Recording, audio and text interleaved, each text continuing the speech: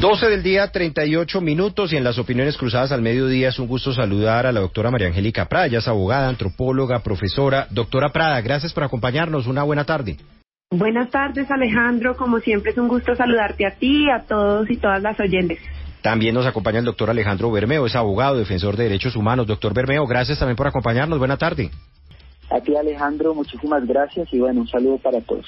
Es que ha salido en defensa y de manera muy vehemente el presidente Gustavo Petro de su ministra de Minas, que está viviendo una tormenta política de alguna manera por los desaciertos también que eh, tuvo en, en, la pasada eh, congreso, el pasado congreso eh, del sector de minas, allí habló sobre crecimiento económico, luego se presentó ese incidente con un grupo de periodistas cuando interrumpió y suspendió abruptamente una conferencia de prensa que tenía allí. en las últimas horas hubo un descache también con unas cifras en materia de, de la deuda que se tiene en el fondo de estabilización de los precios de los combustibles, también una intervención de ella en la Comisión Quinta del Senado de la República, que fue leída, la tuvieron que interpelar para eh, asegurarle que pues esa no era la manera, que la, la, norma lo que pide es que haya una exposición verbal y no escrita como fue el documento que, que llevó la ministra Irene Vélez. En medio de todo esto, ya lo decíamos, el presidente ha salido en defensa, dice que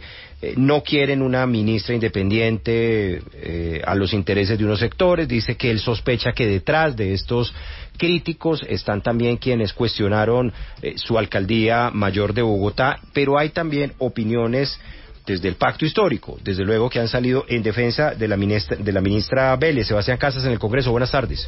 Alejandro, buenas tardes. Pues lo hizo el presidente de la Cámara, David Racero, defendiendo de entrada lo que usted dice, cerrando filas el pacto histórico a la gestión de hasta ahora ha cumplido la ministra de Minas, Irene Vélez señalando que ella está, eh, abro comillas, en proceso de aprendizaje. Pero escuchemos lo que dijo el presidente de la Cámara.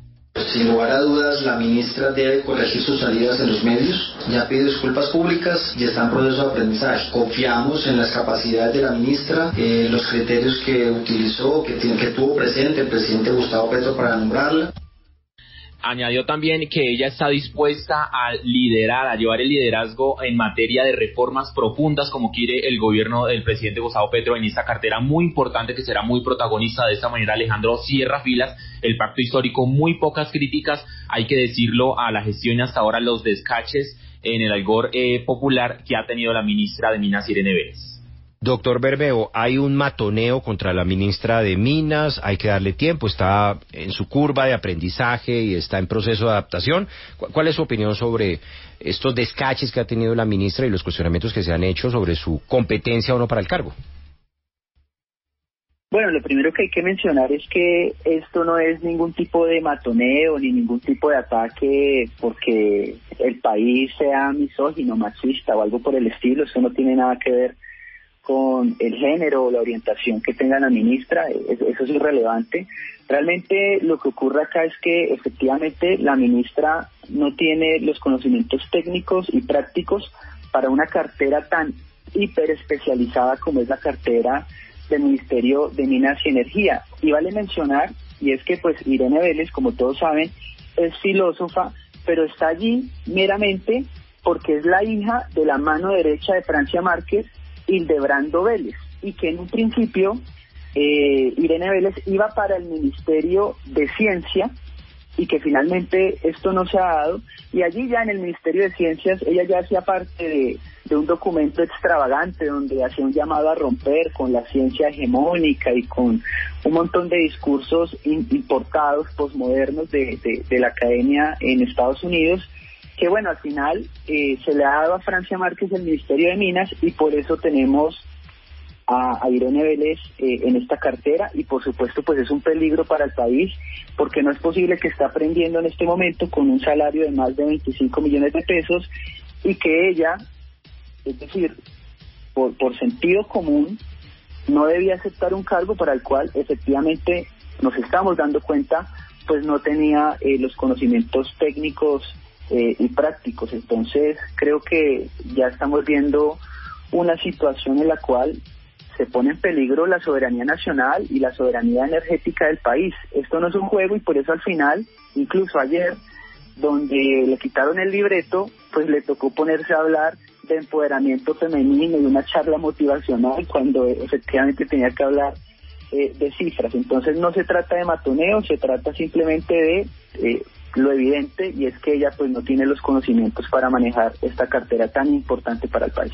Doctora Prada, ¿este es un problema de conocimiento o es que realmente eh, hay una campaña sistemática contra la ministra?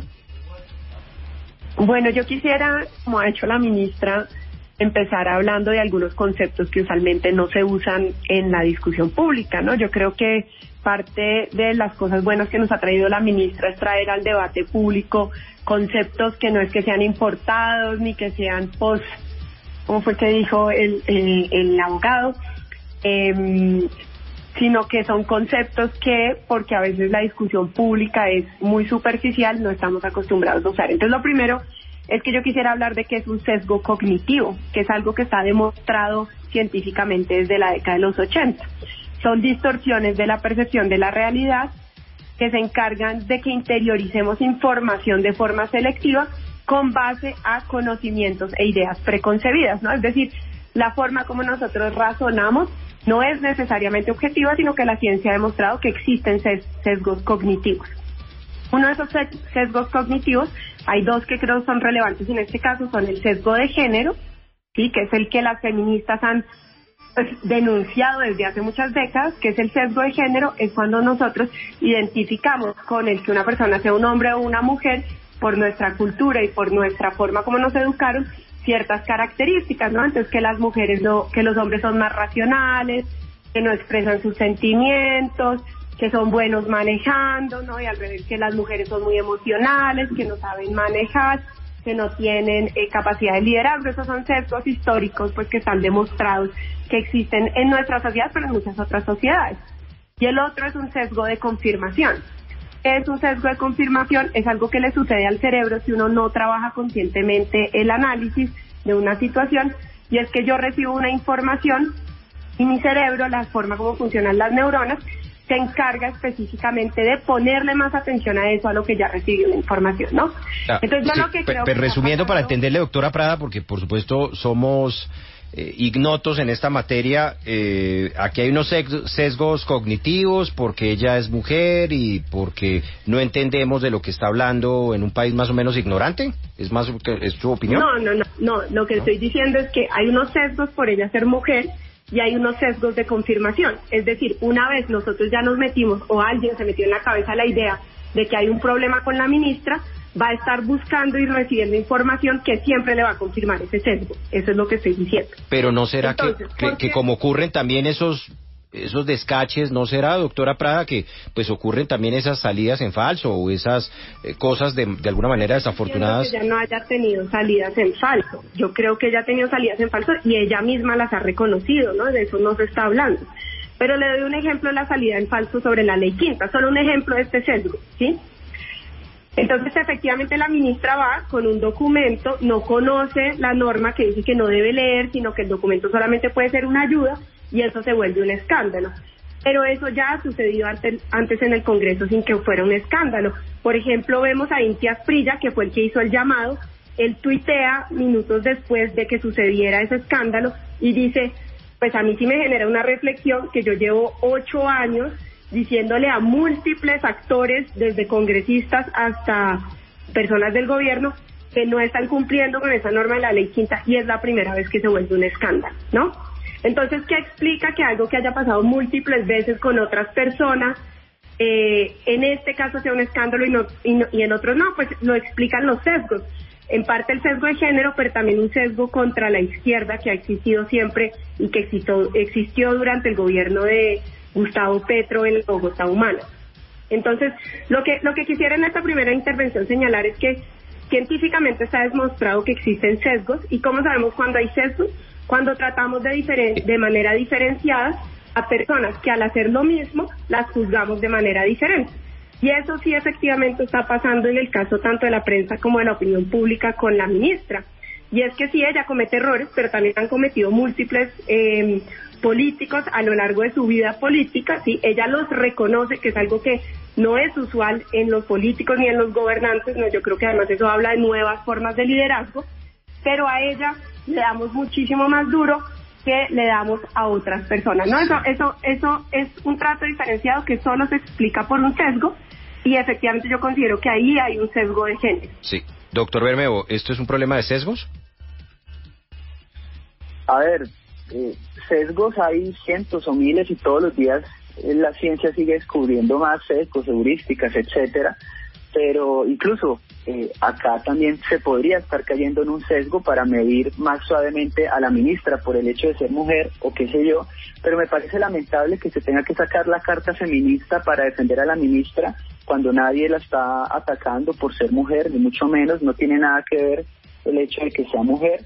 Aquí lo relevante es que ella es filósofa, que ha hecho apenas algún activismo en comunidades afro y uno que otro activismo en temas ambientalistas y que no tiene ni idea del tema de minas y energía, que cuando se queda sin discurso aparece con extravagancias eh, y elucubraciones filosóficas importadas desde los países desarrollados, como la teoría del decrecimiento, o aparece entonces ella también sacando la carta eh, el empoderamiento femenino, el liderazgo femenino y termina al final no diciendo nada. Así que esto no se trata eh, de machismo, de patriarcado, cosas de ese estilo.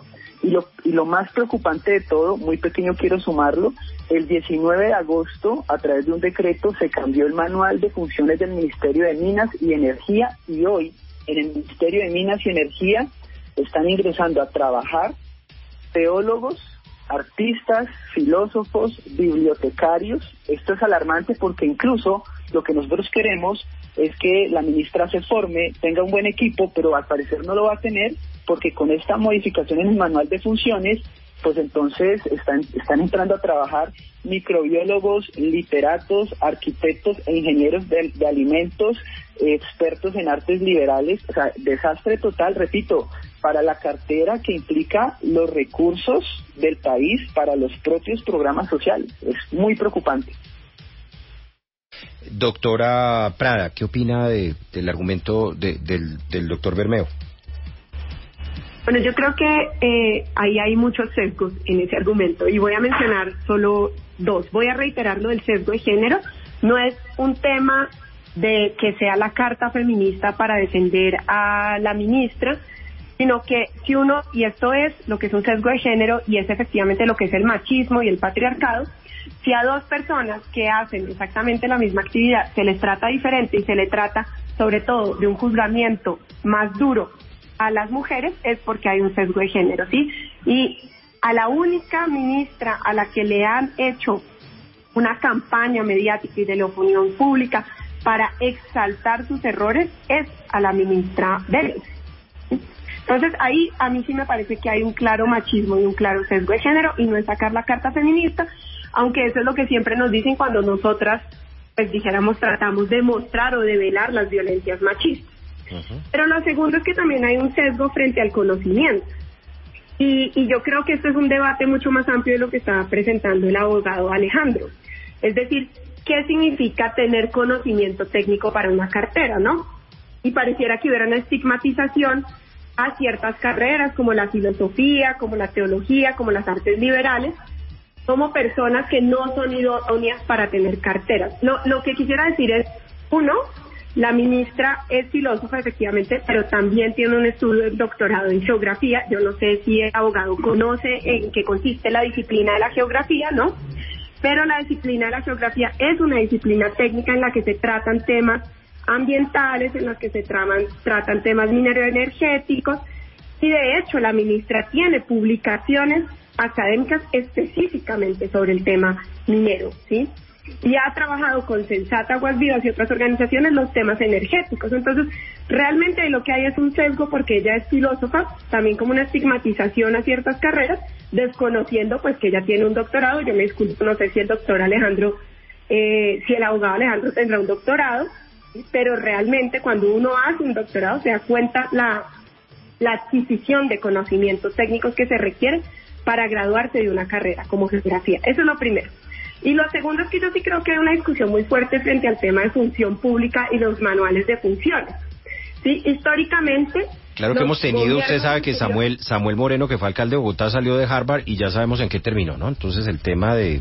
Sí, eso también, eso también es una discusión, es decir, simplemente tener un título lo vuelve a uno la persona idónea o no. O sea, eso es parte de la discusión justamente, Alejandro. Y es justamente lo que él está diciendo es, como ella no es una técnica, no sé, ingeniería de minas no puede. Entonces, una persona que se gradúa de Harvard de ingeniería de minas, que no creo que esa carrera esté en Harvard, solo use Harvard porque usted lo usó, eh, si es técnica, así se haya graduado con las peores notas o haya sido corrupto, no lo sé. O sea, ahí hay toda una discusión, pero sí yo creo que hay que plantear, este gobierno debería plantearse una discusión muy fuerte frente a la forma como función pública crea esos manuales de funciones. Realmente uno va a muchos ministerios y encuentra que hay una desfiguración de cómo los manuales de funciones no responden a las necesidades que tienen los ministerios y están basados en sesgos. Entonces, por ejemplo, si una persona es abogada como, como Alejandro y como somos yo, pero hace un doctorado en economía, en econometría, ¿sí? O sea, economía con econometría, y va a tomar un cargo público y el cargo público dice pregrado en economía entonces esa persona, aunque tiene el conocimiento de posgrado, un doctorado son cinco años, ¿no? cinco, entre cinco y siete años, o sea, incluso más tiempo que un pregrado, no puede ejercer, no puede ejercer ese cargo solamente porque en, la carrera base es diferente. O sea, yo creo que ahí hay una discusión sobre cómo se crea la tecnicidad en la función pública que es mucho más profunda, ¿no? Sí. Pues, doctora María Angélica Prada, gracias por acompañarnos en estas opiniones cruzadas. Les deseamos buena tarde. Muchas gracias, Alejandro. Doctor, doctor Bermeo, gracias por estar con nosotros. Muchas gracias a ustedes. Un saludo a